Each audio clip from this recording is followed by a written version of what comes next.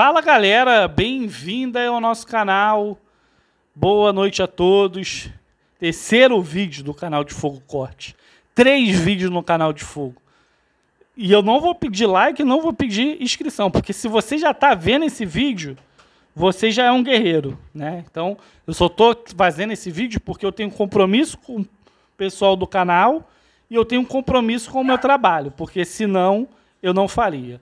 Aí você vê, hoje a entrevista do André Mazuco, né? Entrevista do André Mazuco, falando que essa semana teremos novidades. Ele deveria ter vergonha na cara e falar dos erros. E eu fico indignado, isso daí me faz um mal por dentro, que eu fico indignado que não existe a palavra desculpa nos dirigentes do Botafogo.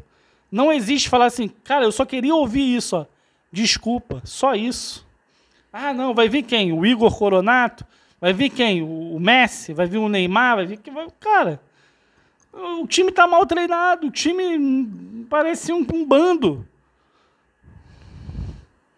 Ah, mas fez 2 a 0 Diego. Fez 2 a 0 sim. Mas o time está mal treinado. O time está mal desde o primeiro tempo, desde o segundo tempo.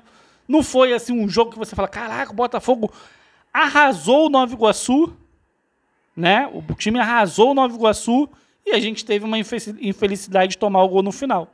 Eu queria dizer isso, mas não foi. Tanto é que antes de sair o gol do Botafogo, deram o melhor do jogo para o Carlinhos.